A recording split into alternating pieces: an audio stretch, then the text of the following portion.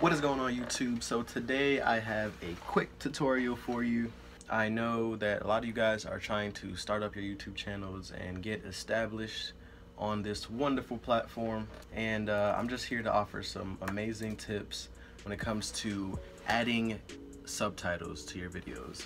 Subtitles can be one of the greatest things you can add to a video in the case of low sound quality or um, anything of that nature that you would want to add some subtitles to your videos to allow people to see what you're saying or hear what you're saying. Here I have pulled up uh, my last YouTube video.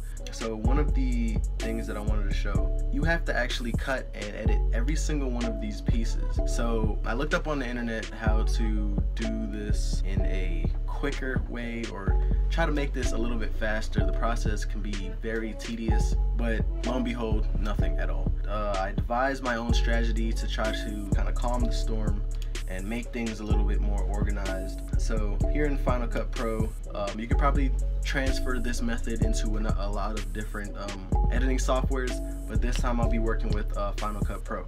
So all you want to do is uh, drag your text over the clip that you want to put the subtitles over, and then you're gonna zoom in all the way.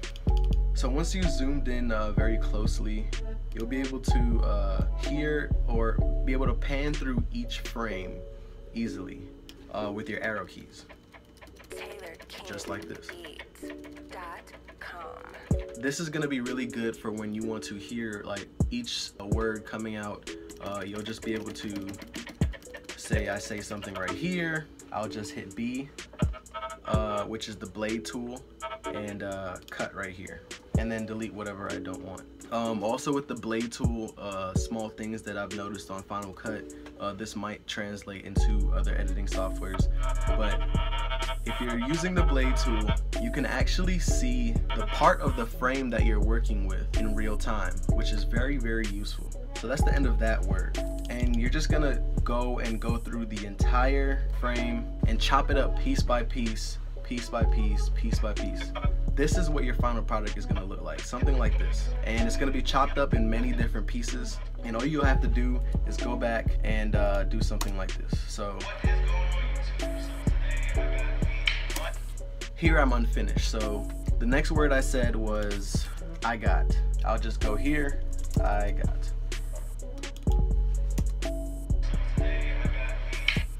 And then so on and so forth. That is the quickest way that I've found to add captions. Here I'm working with Final Cut Pro, but if you're working with, best of luck to you. If you like videos like this, please let me know in the comments.